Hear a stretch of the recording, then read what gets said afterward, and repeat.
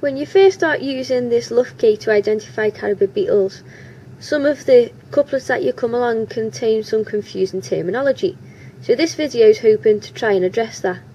And the one today that we're going to look at is an epipleuron and if it crosses near an apex.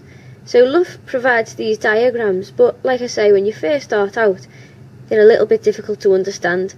So we're going to try and find one on an actual carabid beetle. Going to use this Abax specimen to see if we can locate the epipleuron. Now you'll just see that we've removed the tarsus from this hind leg here just so that it exposes the margin of the elytra a little bit more.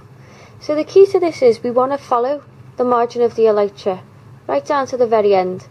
Now if this is simple, this groove will go right the way around the back. If it's not simple, we'll see that it starts to run upwards and it crosses what we call the epipleuron. So if we take a zoom in, we'll start to see a little bit more detail. And actually what we find here is this isn't a simple margin, but in fact the margin of this elytra sort of curls up just a little bit here and it exposes this, it crosses the epipleuron. And now that you've seen it on a real beetle, it's actually much more easy to interpret this diagram in the book.